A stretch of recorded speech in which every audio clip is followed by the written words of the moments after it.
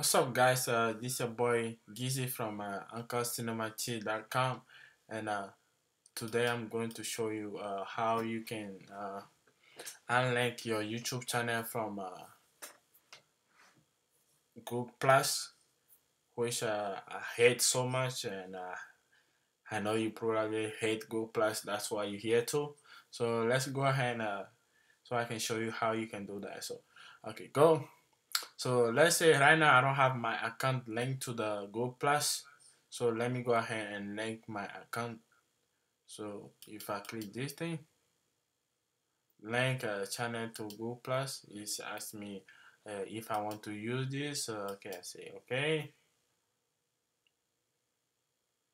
Okay, so now I have my account linked to Google Plus. Okay, so I want to unlink my account because from Google Plus because I hate them. Okay, so I go on Google, google.com, and uh, how to delete Google Plus without deleting YouTube channel, blah blah blah. Say, now this come up, okay?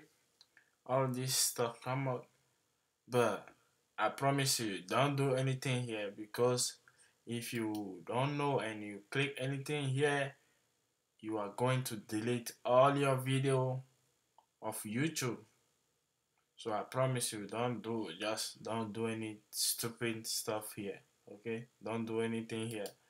All you have to do is uh put in YouTube. Okay, now you click uh, right corner here. You click uh, this thing, your username or your image, your logo, anything here, and then you click YouTube setting. Okay, and now when you click that one, on in the middle somewhere here you say uh, you can see disconnect Google Plus profile and use a YouTube username. Okay so when you see this you click this one and click next.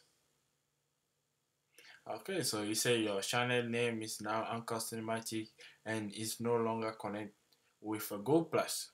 Okay so um you click delete Google profile and then uh, this one make sure you click uh, the this one just this one. Don't click the top one okay? Just this one. Okay you click delete.